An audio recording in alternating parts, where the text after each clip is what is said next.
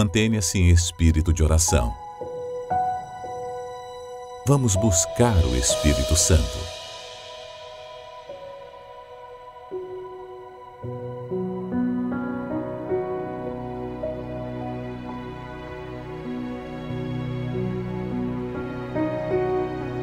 Espírito Santo, revele para este homem, para esta mulher, se ele tem rejeitado a tua palavra, as tuas profecias, o temor a ti, e que ele tome a decisão agora, aí no seu lugar, de entregar toda a sua vida e abandonar esse pecado, esse erro que o acusa.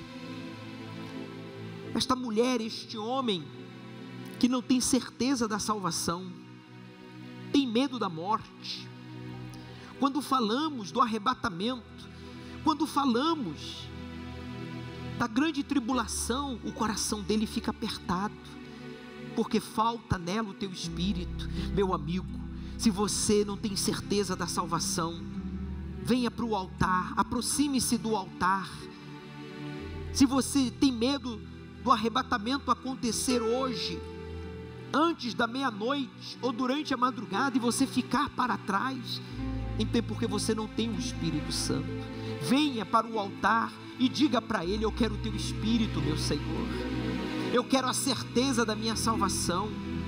Se você tem medo de sofrer a grande tribulação, porque você não tem tido disposição para temer a Deus, respeitar a Deus e contrariar a sua carne, as suas inclinações, as suas fraquezas.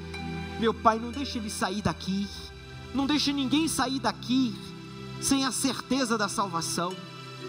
Batize com o Espírito Santo, por favor, esta pessoa que agora entendeu a seriedade que é a tua palavra, a seriedade que é a nossa vida, pois ela é eterna, ela não morre, a nossa alma é eterna, o corpo morre e vai para o pó, e o diabo sabe disso os espíritos sabem disso, mas a alma não. A alma, ela é levada para os céus, para diante do teu trono, se ela te pertence, está salva, cheia do teu espírito, lavada no teu sangue, ou arrastada pelos demônios ao inferno. Oh meu Deus, não deixa ele, não deixe ela sair daqui com medo. Não deixe com que ninguém saia daqui com medo de morrer ou com medo do arrebatamento acontecer e ficar para trás. Avive agora os teus servos. Avive agora este teu servo que não se dava conta das profecias, da grandiosidade, da importância das profecias e agora te adora, te louva, aleluia. Ah, meu amigo, você aqui diante do altar, estenda os seus braços em direção à arca da aliança. Você estendeu para clamar, para pedir ajuda, socorro. E agora você estende os seus braços à arca da aliança para pedir a Deus, sim, o Espírito Santo Vem, Senhor Espírito Santo. Vem agora sobre estas pessoas. Vem, meu Pai, sobre estas pessoas que estão te buscando aqui diante do teu altar.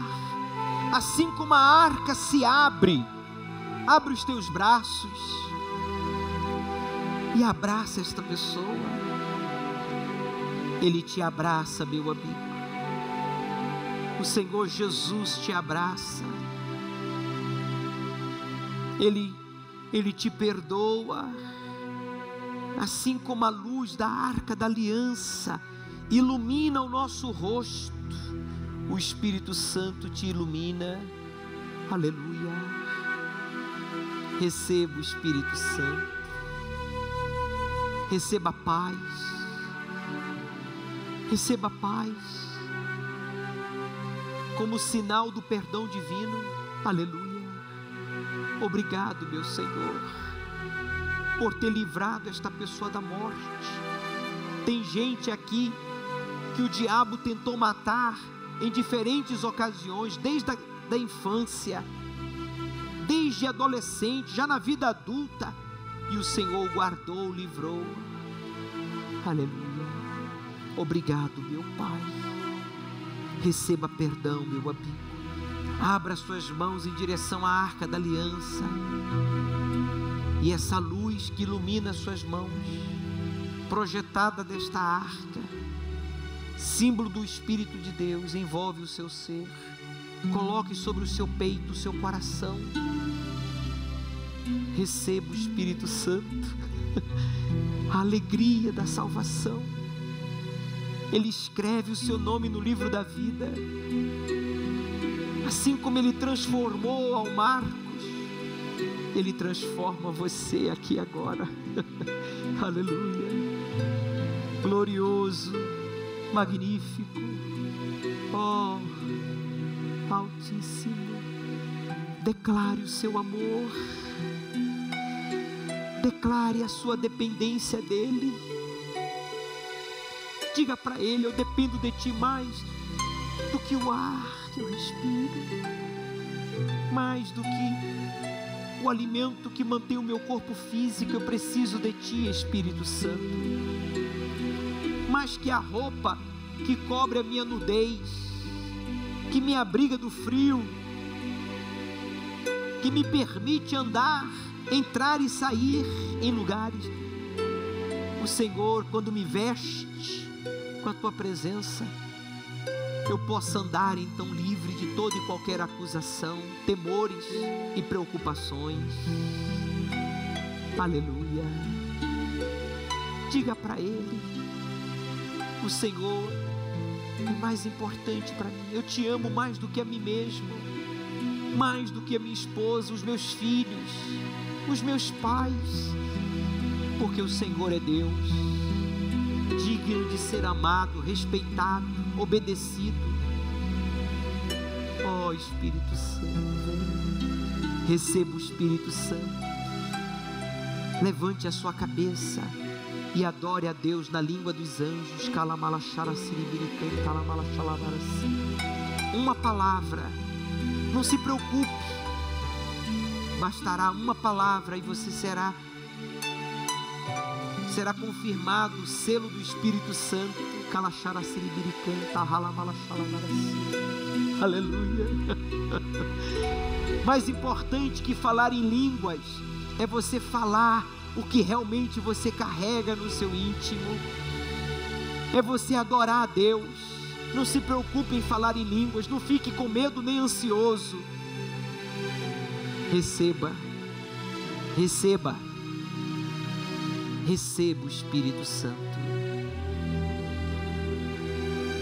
Eu vou me voltar para vocês, e quando eu me volte para vocês, com meus braços abertos, o Espírito Santo virá sobre você. Creia, creia, creia somente. Olhe para a arca da aliança e receba o Espírito de Deus para fazer de você um guerreiro forte, uma pessoa fervorosa, corajoso, temente a Deus, uma pessoa que se desvia do mal, que resiste às tentações, que paga o mal com o bem, que vence a mentira com a verdade.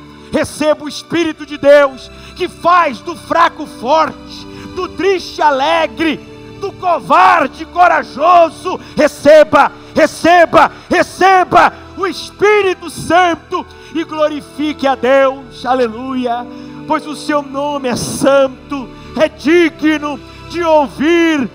Eu te amo, Jesus. Seu nome é Jesus,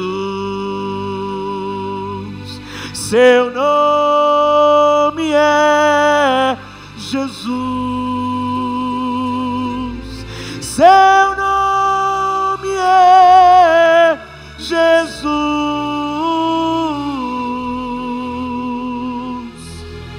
Eu amo. Sim. Volte para o seu lugar cantando.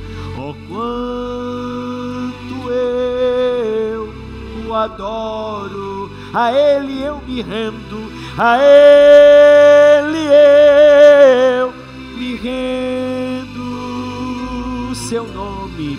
seu nome é Jesus.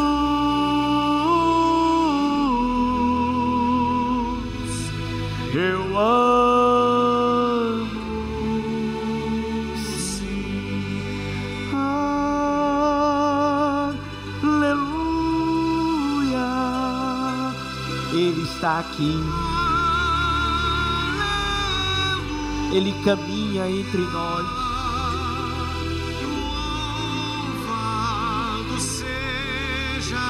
Ele batiza. Cristo Jesus. Ele confirma que é com você. Aleluia. Canta, povo de Deus. Aleluia.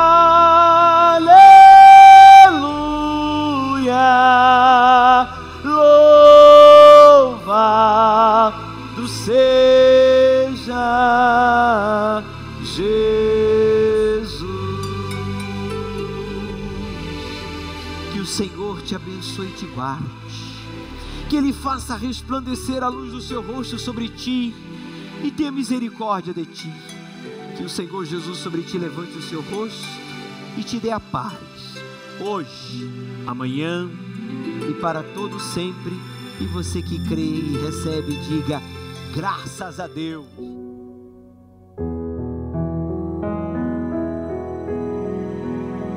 Você foi batizado com o Espírito Santo nessa busca? Conte-nos sua experiência nos comentários.